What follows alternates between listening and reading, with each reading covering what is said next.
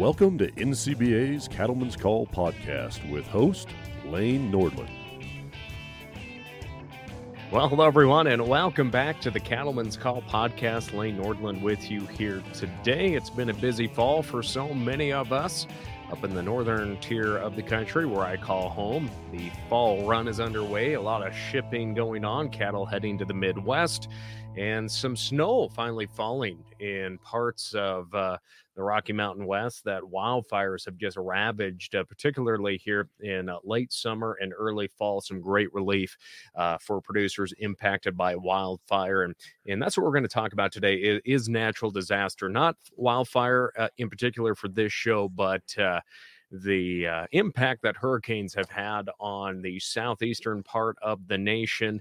And we're going to be joined today by members of the Florida Cattlemen's Association. Alex Johns and Dale Carlton are joining us. They're producers there in Florida who have been impacted by uh, the recent hurricanes in that region. Uh, Dale currently serves as the FCA president, and Alex is a past president of the association and a member of the Seminole Tribe of Florida as well. So, gentlemen, as as you join us here on the podcast today, uh, Dale, I'll I'll start with you. Uh, how, how, are things going with two hurricanes now in the rearview mirror? How are things for for the operation and yourself? Well, it's really going good. There, uh, we got obviously some cleanup to do, and um, but as a whole, we on our family operations, we made out made out in pretty good shape with the, these two. A lot of people got a lot more water than than we did. We we we experienced that in 2022 with Ian, where we had a couple feet of water, and there's people up in the north part of the uh, north up north of us that are uh, experiencing a lot of water damage more than wind damage. Still a lot of wind damage, but there's a lot of water sticking around. Alex, for yourself, uh, how are things uh, shaking out here in, in, with things in the rearview mirror? We're in pretty good shape ourselves. Um, you know, had a little fence damage, some wind damage, quite a bit of water, but you know, a lot of our neighbors got a lot worse. So we've got all our stuff tidied up, and we're able to go out and help our neighbors now. So it's going to be a long cleanup process, but you know, thankfully uh, we'll get through it. No, well, again, neighbors helping neighbors. That's what we're about here in rural America. It doesn't matter where you live at or where your operation is at. You know, before we, we dive too too far into uh, our discussions around hurricane relief and rebuilding, uh, uh, Dale, I'll, I'll, I'll start with you on this question. Let, us just talk about your your your background there in Florida in the cattle business and uh, and your family's involvement and uh, what what your operation uh, what what you run down there. Okay, we're um, I'm actually I'm eighth generation Floridian, sixth generation rancher. My family's been in the business for a very long time. Um, all I know. We have a cow calf operation um, that we have places in three counties that are connected to each other, um, and we're a family business.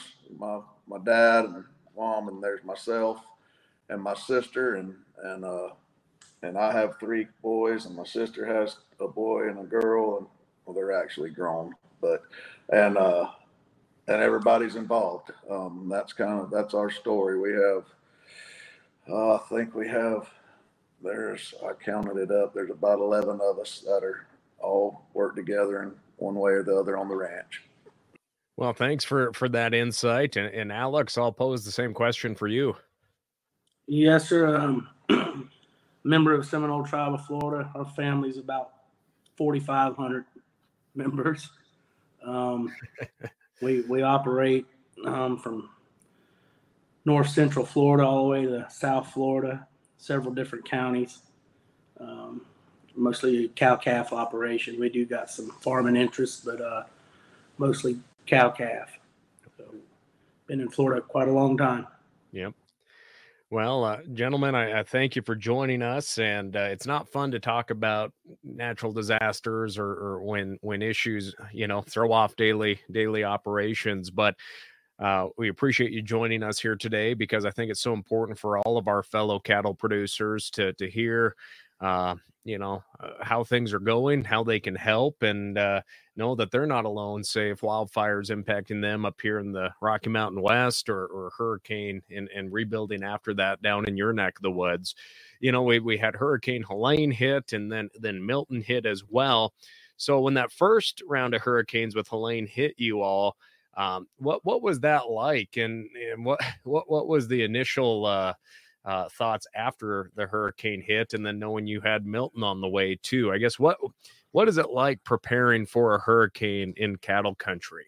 There's quite a bit to do. You have to obviously get things tied down and hope and in their safe place and open up enough pasture for your cattle to be able to let their natural instincts take over and find their safe place as well and just then you get really ready to recover and to be able to to um, help other people and just it's really one of those things where everybody comes together and and works together and that's really how we get through it and what's that like though i i mean I, have been down in Florida on some on some ranches and a lot different than our wide open pastures here in Montana.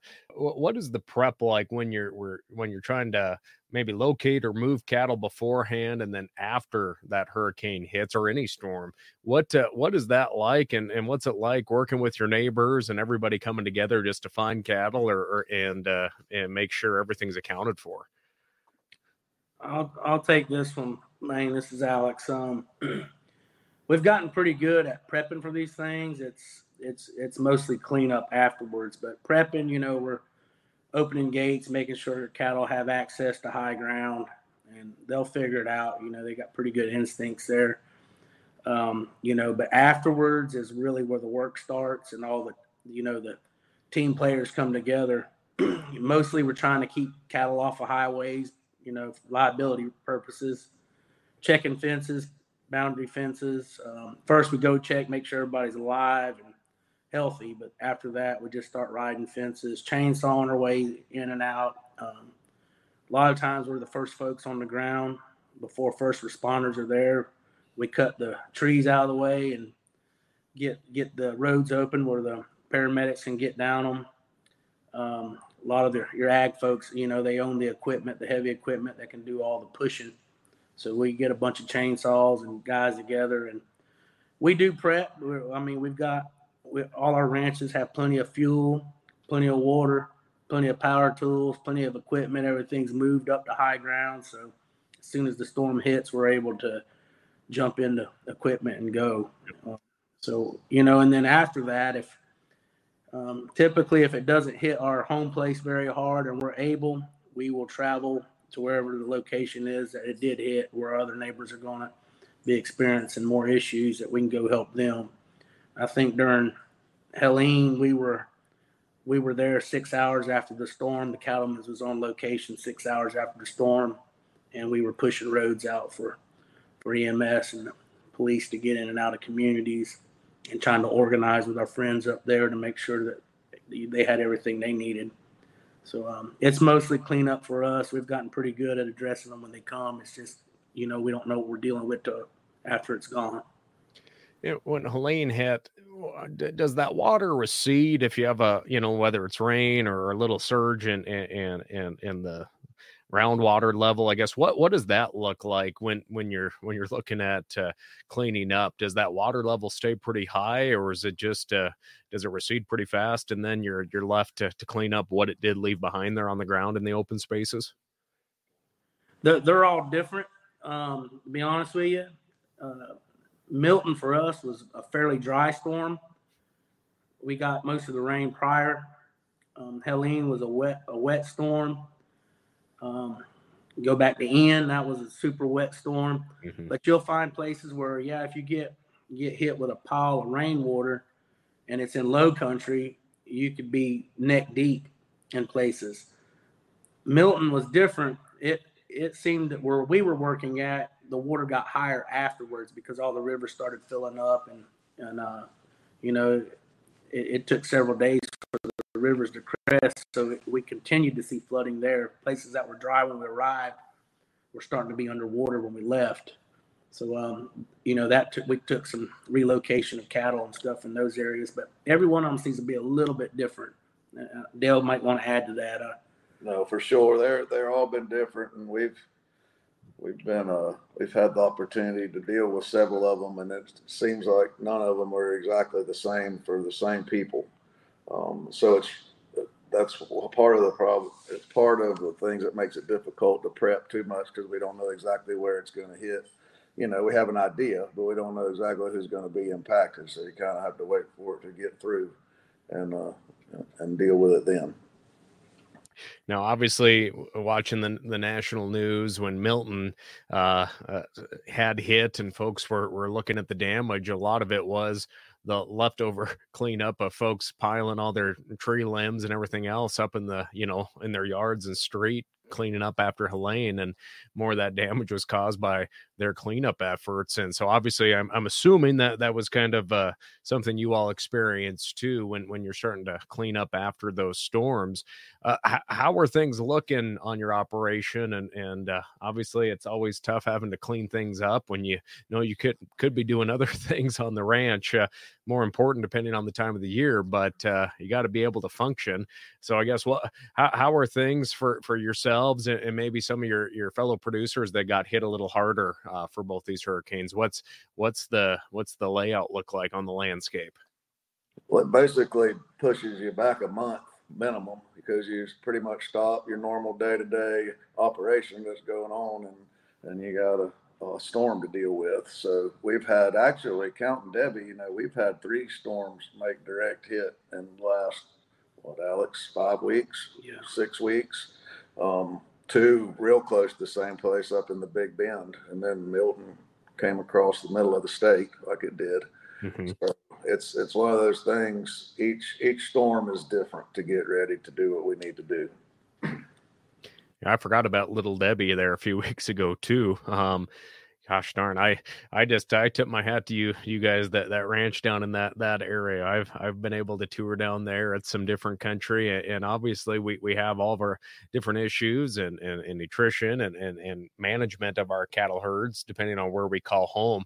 I guess when you're looking at animal health, what what are some protocols that you put in place? Uh, when you're starting to clean up and and check on cattle what what are some things you've all learned when you're when you're looking at these cattle and accounting for them and, and making sure they're all in, in tip top shape Well, it's different in different areas once again. So if, let me go back to Milton. So if you got to the higher country where those cattle were at, as you can imagine, the only water access they had was well water.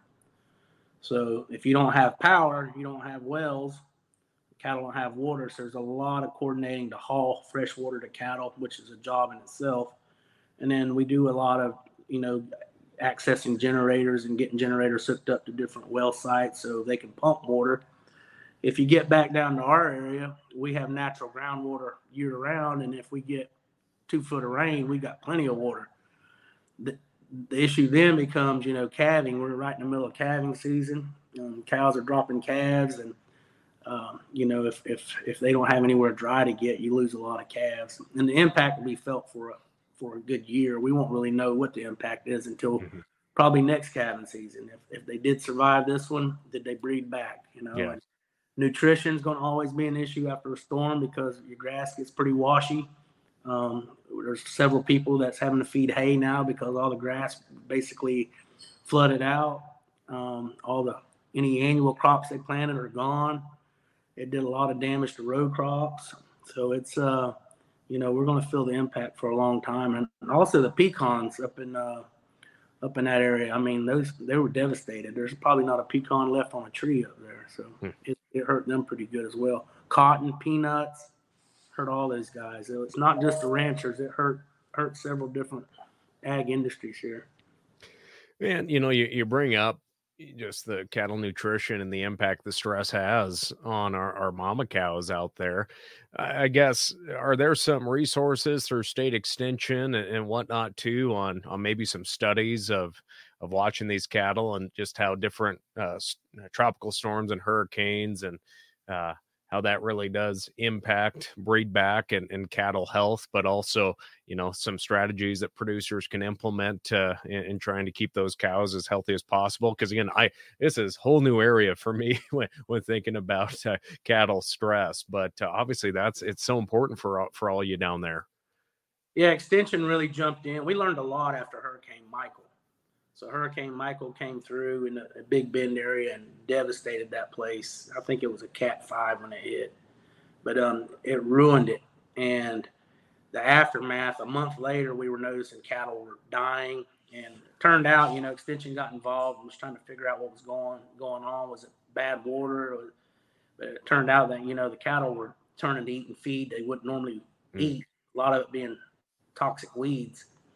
So we lost quite a few cattle up there. But uh, Extension does put out, you know, some papers on on how to handle situations post hurricane, um, things about nutrition, stuff like that. But I want to kind of toot um, the Florida Cattlemen's Association's horn here and, and Dale Dale Carlton especially. So we uh, recently we've been doing storm recovery for past seven or eight years as an association. I think we really started during Hurricane Michael, and we started ramping up and getting a little more organized. And then Dale recently um, started a new committee. I think we call it Hurricane or Disaster, disaster Response, relief. Disaster Relief and Response. Yeah.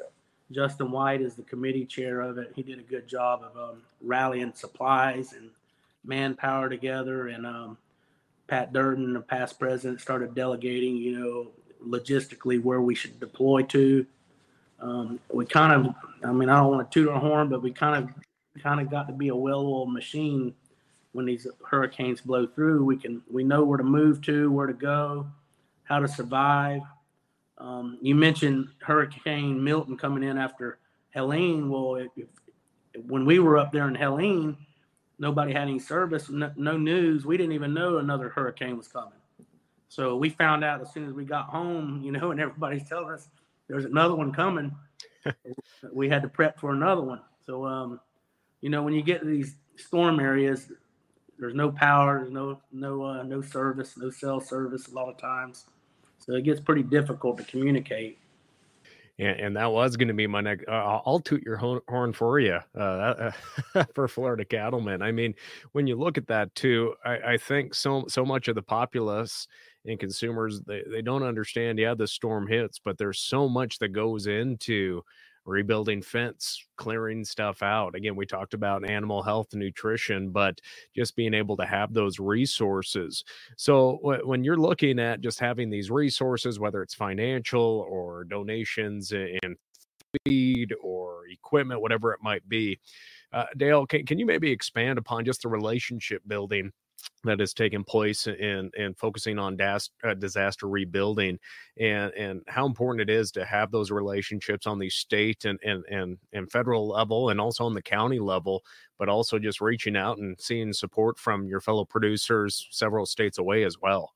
Well that's that's uh, one of the reasons that i would toot our horn as an association too and i'll it all to our executive director mr Handley he he has unbelievable relationships scattered throughout our whole industry. He has unbelievable relationships scattered out through our state.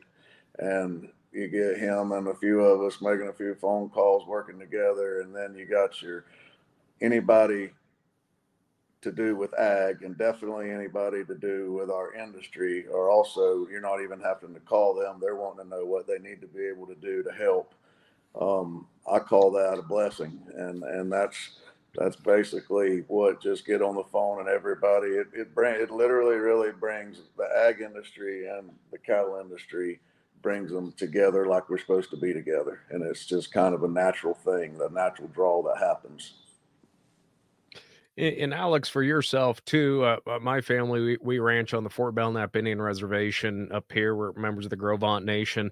Um, uh, from from the the Seminole tribes perspective, uh, what are some resources that that they provide too in the in the work and the collaboration that that takes place to to help producers and, and tribal members across the state as well?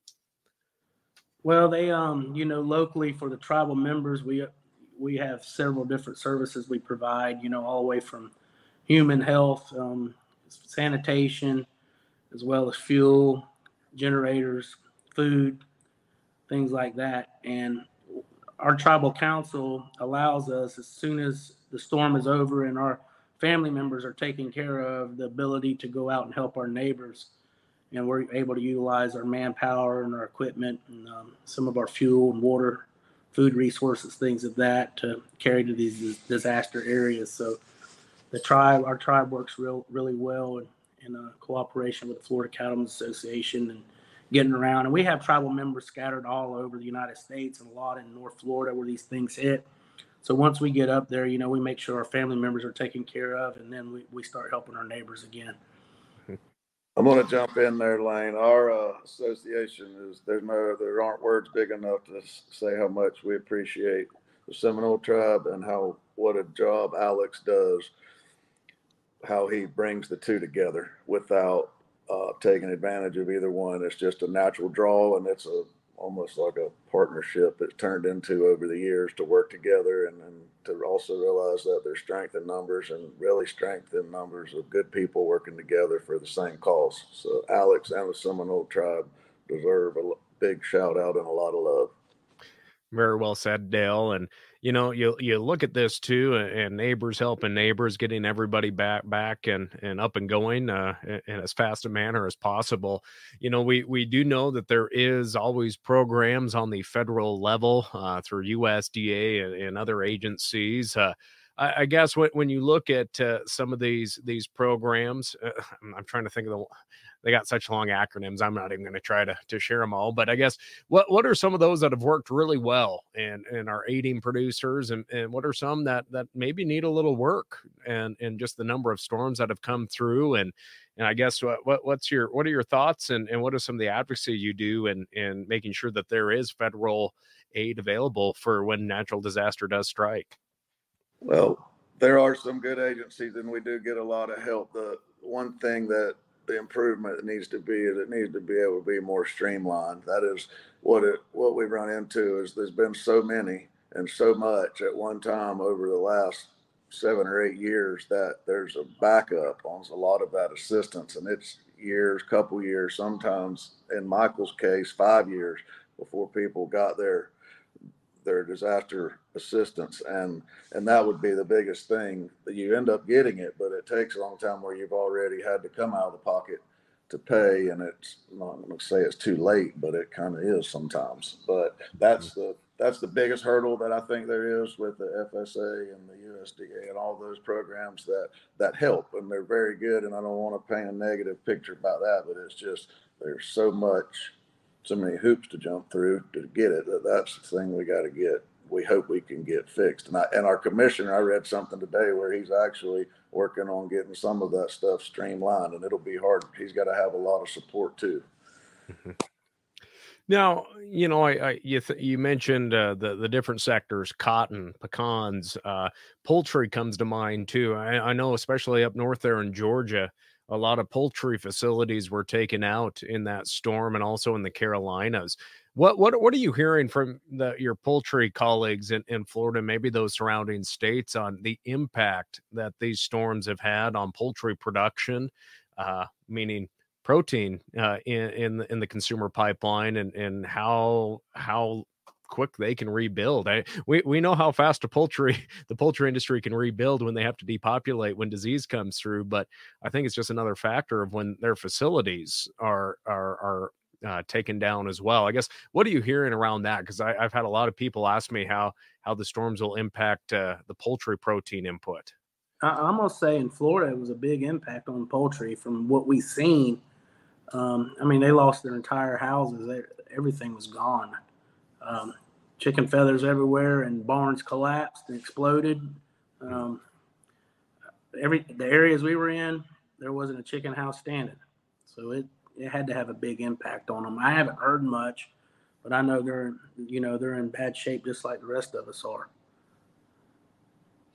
Well, again, we we we sympathize with all all the producers out there impacted by this, and I know we're focusing on cattle, but uh, we're all in agriculture, and we all get up and put our boots on, uh, no matter what the day is, and our sympathies are with everybody. And I should mention uh, to our friends listening, if you're wondering how you can help uh, play a role in uh, disaster relief, I would encourage you to check out the ncba.org slash producer slash disaster relief resources or just uh, Google NCBA disaster relief because they uh, they have a great lineup for hurricane relief, um, the resources for producers impacted by those storms uh, or or by wildfire, whatever uh, that natural disaster can be, and they also have direct uh, links to the state affiliates like the Florida Cattlemen's Association on how you can help these producers on the ground as well.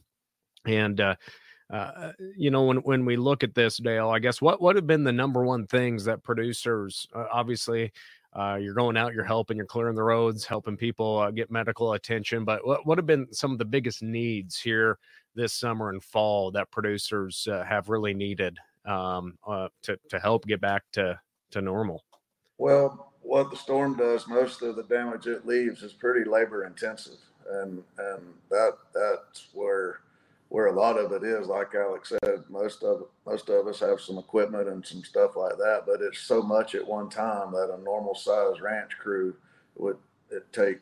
We well, we can't hardly get cleaned up in between storms now, but it just it takes so much, and that that is that's it overwhelms a lot of people up there in the Big Bend area. Some of the things that were sad to me, those some older people, generational people, been up there their whole life on their four or five hundred acres. That they have some cows and they also have some hay and a crop, and they're talking about it's not worth it anymore. Giving up, especially on the cow end of things, and that that's you know that's heartbreaking when you love the industry like we do. And Alex, from your perspective too, I guess uh, how how do these storms make you think ahead and and plan and, and look at different resources and, and making sure that you can be as prepared as possible when when these storms do hit? Well, the biggest thing I see from all the experience we've had with these storms is making sure your fence lines are pretty much void of trees.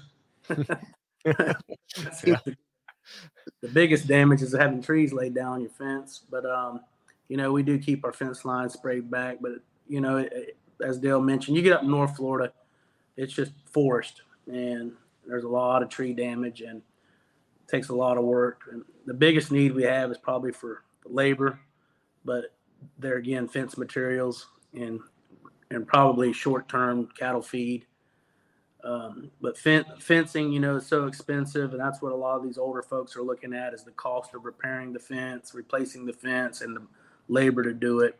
And sadly, some of them are just, you know, bowing, bowing in and saying that they're probably done after this one. Um, they just get hit back to back and can't get cleaned up from the last one.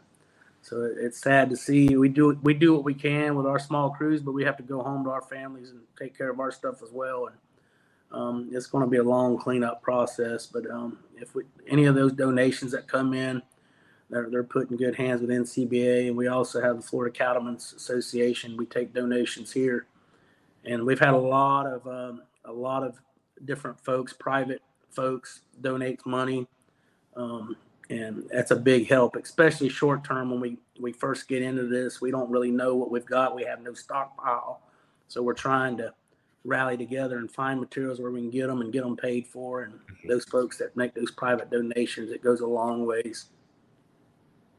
Now, now I'm curious what what what type what, what is your normal fencing material? Obviously, up here we're T posts and well, all those 120 year old uh, cedar posts are, are, specialties around here that our forefathers put in the ground. But you know, uh, a mile of fence, people, it, it could be fifteen, twenty thousand dollars here in Montana, where I call home, depending on the terrain and materials needed. Uh, what's it cost down there roughly to put in a mile of fence, and and what are the what what what do you use on, on those fence lines down down there in some of that swampy country? Yeah, I mean we're similar as far as cost goes. You know, it's according what kind of clearing has to be done. Mm-hmm. You know that that cost would be without clearing, but you get up in North Florida, I mean, a, a big D8 bulldozer can't move some of those trees, so it's a uh, you know it's a lot of hand labor. So it, it, takes quite a bit to get some of them fence lines cleared where you can actually string a new fence. But we we're primarily barbed wire down here and, and pressure treated posts, mm-hmm. and, and cost of everything's up. So yeah, it's it's a it's a high cost of fencing for sure. Now, uh, looking ahead, uh, what, uh, what what are some uh, maybe looking at some of the positive things out there? I know we're focused on on, on the disaster and, and rebuilding right now, but what are some other things the Florida Cattlemen's Association is up to to to help uh, grow the presence of, of uh, the cattle industry there in Florida and and uh, of course one of the fastest growing uh, states of course in the nation but uh, what are some things that you guys are working on and looking towards the future of uh, the cattle industry and the oldest cattle industry in, in the us as well? Well one push we're making this this year is um is our membership. We uh i'll give you a little history on that. In 2019 we we had a dues increase a much needed dues increase. We needed some more staff. We needed some some seats at some tables like the water management district places. Um, and we needed we needed to upgrade that. And so we had a, we hadn't had a dues increase in 20 years. We increased our dues, and then right behind that, COVID hit, and it really put us. You know, it, it knocked a hole in our membership by about 800, 850 members. So that being said, this year we're we stopped the bleeding. We got it headed back in the right direction. It'll take a couple years to to get us back where we were, and hopefully we're hoping to increase that. And right now on our government level, we're we're sitting in. We have an opportunity to be in real good shape. Our Commissioner of Agriculture, Wilton Simpson, he's a farmer. He's a chicken farmer, and he has some cows too.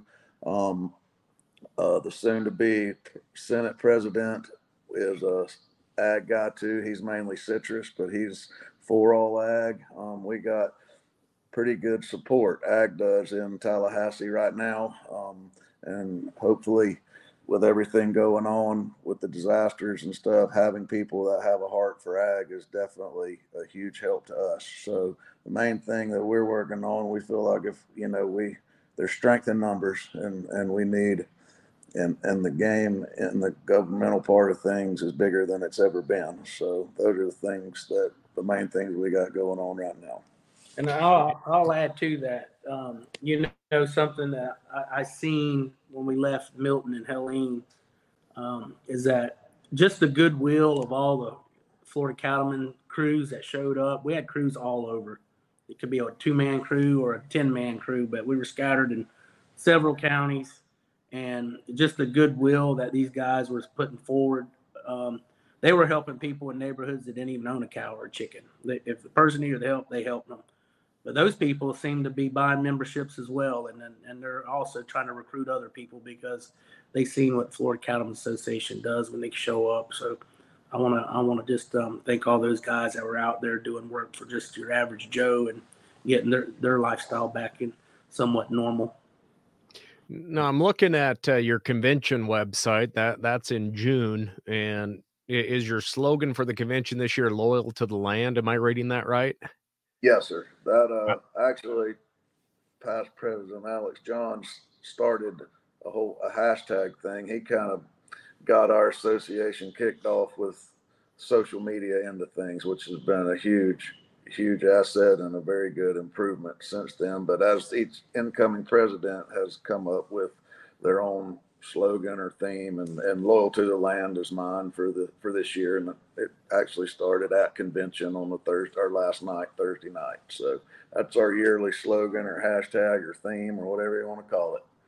Uh, I think that's one of the best themes or slogans I've seen for a, uh, an agriculture association in quite a long time because I mean, uh, just about our conversation here today. We're loyal to the land, we're loyal to our neighbors, we're loyal to our cattle and in the industry. So, again, a lot going on, a lot of rebuilding, uh, a lot of sweating it, it left to do too. Not not only do you have to clean up after two storms, you you have to lobby, you have to stay in business. And uh, again, Florida Cattlemen's Association, Jim Handley and the team there, of course, on the on the staff, doing a fine job of uh, of being a voice uh, for all the producers there in Florida as well you know, gentlemen, one year, one year, I will, I, I want to come down to to the convention there. That that looks like a lot different than our Montana Stock Growers convention during December when it's usually you know 20 below zero.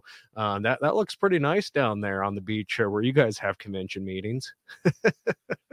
it's not any fun. You wouldn't enjoy it. I tell you what, if you come, we'll get you a room.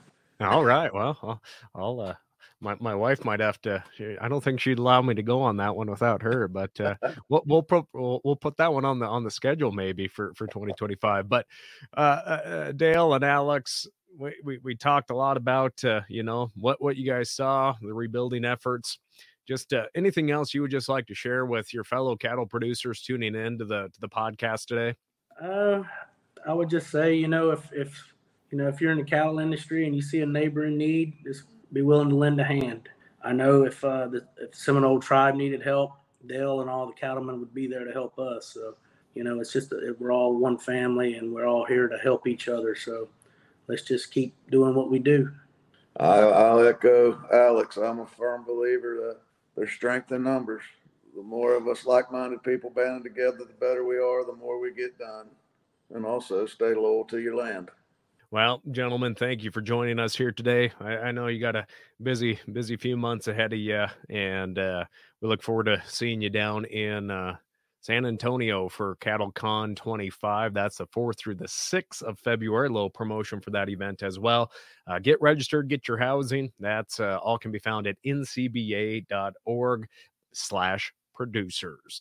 I had to say it so many times on Cattlemen to Cattlemen the other day. I probably didn't get that right. So I'll make sure and uh, have the correct details in the podcast description for convention, but also the disaster relief as well, friends. But uh, with that, Alex and Dale, thanks for joining us here today. All right. Thanks for having us. Thank you. All right, friends. Thanks for answering the Cattlemen's Call. I'm Lane Nordlund. We'll catch you next time. Thanks for tuning in to NCBA's Cattlemen's Call podcast with Lane Nordlund.